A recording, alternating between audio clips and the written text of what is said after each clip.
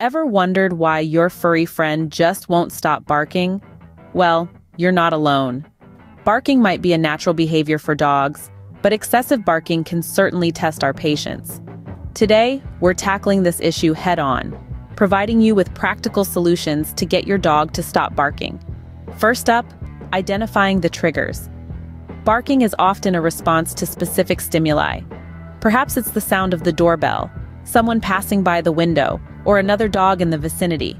By identifying these triggers, we can tailor our approach to address the root cause of the barking. Next, creating a calm environment. Dogs are highly sensitive to their surroundings, so it's important to create a peaceful atmosphere. This can be achieved by minimizing loud noises, providing a comfortable resting area, and ensuring they have plenty of mental and physical stimulation. Now let's talk about positive reinforcement. Instead of scolding your dog for barking, focus on rewarding them for being quiet. This can be done through treats, praise, or playtime. Remember, positive reinforcement is key to shaping their behavior in a desired way. In some cases, professional help may be needed. If your dog's excessive barking persists despite your efforts, it's advisable to consult a professional dog trainer or behaviorist. They can assess the situation and provide specialized guidance to address the issue effectively. Lastly, be patient and consistent. Changing a dog's behavior takes time and effort. It's important to remain consistent with your training methods and not give up easily. With patience and perseverance, you can help your furry friend overcome their excessive barking habit. So, if you're tired of the constant barking, don't lose hope. By following these practical solutions, you can create a peaceful and harmonious environment for both you and your beloved pet.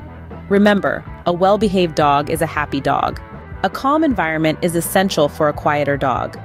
Dogs reflect the energy around them, so a serene and stress-free environment can help reduce their impulse to bark. We'll talk about how to create such an environment, whether it's through soothing music, comfortable bedding, or designated quiet areas in your home. Training your dog not to bark doesn't have to be a daunting task. We'll introduce you to some effective training techniques that involve a blend of positive reinforcement and redirection. Rewarding your dog for the desired behavior, in this case, not barking, is key. This reward could be their favorite treat, some praise, or a round of playtime. Consistency is crucial when it comes to training. Choose a clear and concise command like quiet or enough. Use this command consistently whenever your dog starts barking and reward them when they respond correctly. This consistent communication will help your dog understand what you expect from them. To illustrate these techniques, meet our four-legged friend for the day. Say hello, everyone, has done a fantastic job demonstrating how these practical solutions can dramatically reduce excessive barking. Remember, patience and consistency are key when it comes to training your dog. That's all for today's guide on how to get your dog to stop barking. If you found these tips helpful, don't forget to give us a thumbs up.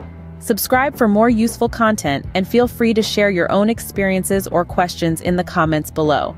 Here's to happy, quieter times with your furry friend.